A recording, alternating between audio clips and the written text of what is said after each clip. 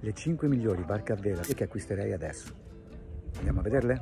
Andiamo a vederle. Cruising down the highway, windows down low Sunset paints the sky in a fiery glow Mountains rise up, touching clouds above Valleys below, filled with whispers of love On this road, every seed's a delight Barche a vela da acquistare un altro viaggio verso il mare mi porta alla ricerca della barca perfetta e questa volta sarete con me. E se non avete sfondato nelle criptovalute o se non siete un luminare primario dello Spallanzani, e se questa mattina non andrete in garage a tirare fuori la vostra Lamborghini Urus per raggiungere la prima seduta della settimana d'allenamento a Milanello, allora probabilmente avete il mio budget. Così andiamo alla ricerca di quella che sarebbe la mia o la vostra barca ideale. Conosceremo 5 barche, una delle quali sarà il mio o il vostro potenziale acquisto. La barca quindi dovrà essere sicura, comoda e mi dovrà consentire di arrivare molto lontano. Janu, Sun Odyssey 30. Oh, ti sei deciso allora? E finalmente comprerai la barca bella dei tuoi sogni. Beh, anche se non vuoi sforare quella fatidica soglia dei 30.000 euro, sappi che è possibile trovare qualcosa di veramente ottimo.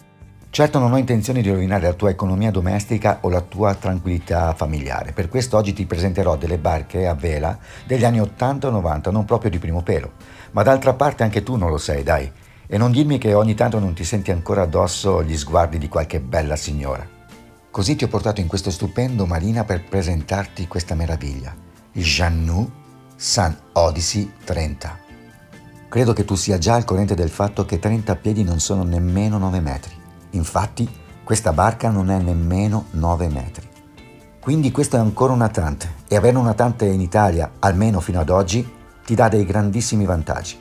Come quelli che non dovrai avere per forza subito la patente, non sarai costretto a immatricolare questa barca per poi piazzarci sopra una bandiera polacca come fa l'80% degli armatori che non la vogliono dichiarare in Italia. E per l'Agenzia delle Entrate non sarà molto diverso che avere un canotto gonfiabile col quale giocare con i tuoi bimbi al lago la domenica mattina.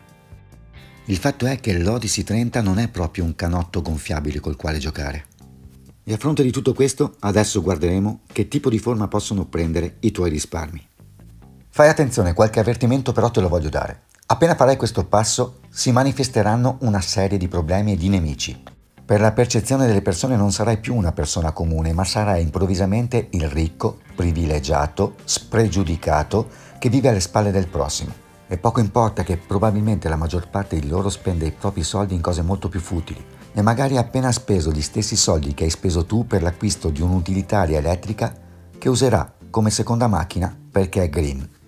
Ma a te questo importerà poco perché mentre lui è concentrato a salvare il mondo, ti chiederai ogni mattina che entrerai dal tambuccio, sentendo l'odore di pelle e del legno e il rumore delle sartie, perché questo passo non l'hai fatto vent'anni prima.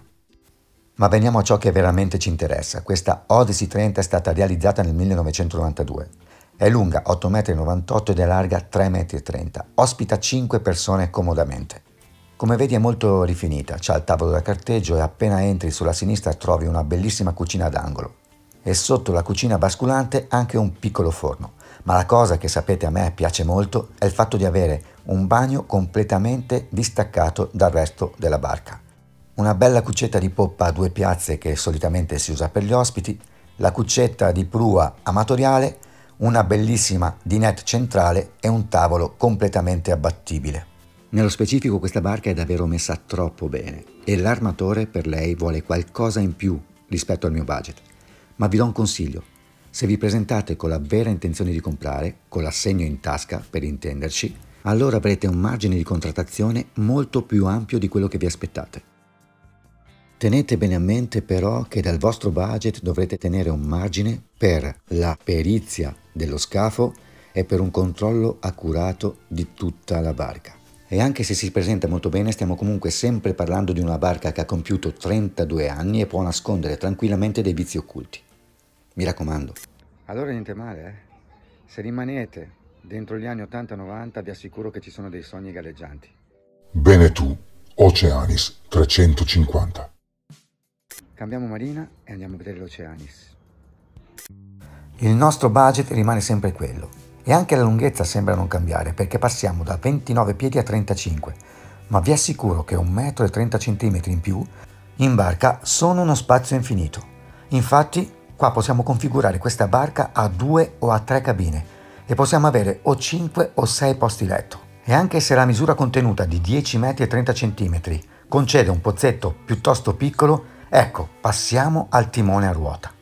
Teniamo presente che le barche che vi sto facendo vedere oggi solitamente montano dei motori Volvo Penta da 15 a 30 cavalli. A fronte di questo sappiamo che hanno un regime di potenza che ci consente di poterle portare anche senza patente e non è poco. Detto questo, comunque non posso sottrarmi da darvi il consiglio più sereno del mondo, di fare la patente in ogni caso, vi darà le competenze necessarie per iniziare anche la navigazione sotto costa. Ovviamente vi ho fatto una promessa, ovvero quella di non sforare da quella cifra che costringerebbe vostra moglie a farvi dormire sul divano per almeno sei mesi. Per questo l'Oceanis che vi sto facendo vedere è una barca che è stata costruita dagli anni 80 agli anni 90. Ma vi assicuro che la bambina non dimostra i suoi anni. Ormai state diventando davvero in tanti a seguirmi e conoscete perfettamente quali sono i miei gusti in senso di barca. E ve ne voglio proprio dire una. Appena prima di visitare questo bellissimo Oceanis, per gioco ho chiesto all'intelligenza artificiale chi fosse Giorgio il Mare. Beh, chiamatemi anche boomer, ma la risposta mi ha sconvolto. Infatti mi ha descritto molto più dettagliatamente di quanto avrei fatto io stesso. Beh, se avete voglia di farlo potete farlo anche voi. L'intelligenza artificiale mi definisce come uno simpatico youtuber e sul simpatico non lo so, magari mi vengono anche dei dubbi, che ha un seguito di alcune migliaia di persone che lo seguono per i suoi contenuti popolari ma anche competenti e diretti. Ecco, quello che mi ha più colpito di questa descrizione da parte dell'intelligenza artificiale è il fatto che abbia usato il termine popolare.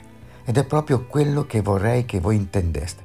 Infatti il mio intento è quello di sdoganare quella retorica che ci vuole diversi, ovvero se compri un camper di 30.000 euro, magari un Iveco del 98, allora sei una persona comune e normale, mentre invece se compri una barca a vela del 1980 di 30.000 euro, sei una persona sofisticata e soprattutto privilegiata. Ecco, non è così. Non c'è nessunissima differenza. Vi assicuro che in Francia questo si sente molto meno che in Italia. Forse perché cantieri come questi, tra gli anni 80 e gli anni 90, hanno deciso di rendere la barca a vela qualcosa di davvero fruibile e popolare per tutti. Ma sì certo, per questa barca di 9 metri dovete prendere un posto barca, pagare luce, corrente, acqua per tutto l'anno, 3, fino a 4.500 euro per un anno di stazionamento. Eppure non sapete che al mio migliore amico, con la sua roulotte due assi, in un campeggio per tutto l'anno al camping Cisano, sul lago di Garda quest'anno hanno chiesto 5.500 euro. E nonostante ci sia una grande differenza, ovvero che con quella roulotte stanziale lui non potrà fare quello che noi potremmo fare con questa barca di 9 metri. Perché è assolutamente vero che l'Oceanis 350 è stata costruita per piccole navigazioni costiere, ma basta che digitiate il suo nome su Google per vedere le imprese che sono state fatte con questa barca e quante volte è stata in grado di percorrere la lunghissima regata oceanica. Con lei molti armatori si sono fatti Canarie Caraibi, Caraibi Canarie, senza alcuna modifica strutturale alla barca. Grand Soleil 34 voi già lo sapete che in questa mia playlist, in questa mia rubrica, scelgo sempre una barca della quale possa farvi sentire il rumore del vento sulle vele.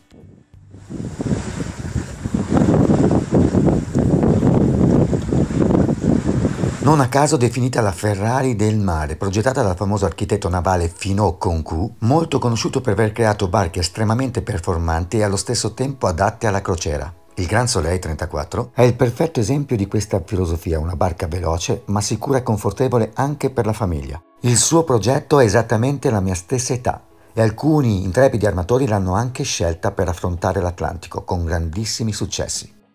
Hunter 33 E ormai sapete che in questa mia rubrica non può mancare assolutamente una barca americana. Come è stato per la Catalina 250, ora vi faccio vedere un'altra barca che viene dalla Florida. È una barca di soli 10 metri.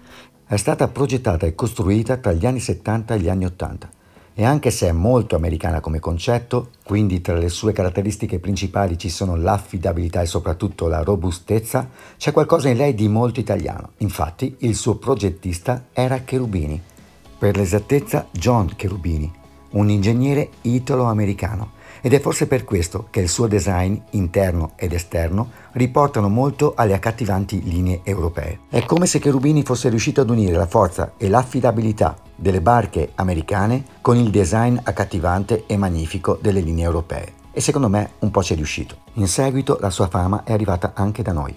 Infatti molti armatori del Regno Unito, dei Paesi Bassi, della Francia e dell'Italia hanno deciso di acquistare un Hunter 33 per questo è molto probabile trovare questa barca nel mercato dell'usato europeo. E trattandosi di una barca molto lussuosa ma pur sempre di 40 o 50 anni, la si può trovare a prezzi ampiamente sotto quelli che sono oggi il mio budget. Come avete visto nelle barche precedenti, il design interno era per tutte un po' lo stesso. In questo caso invece gli interni appaiono molto più resistenti è stato usato un legno massello e massiccio, di provenienza del Nord America.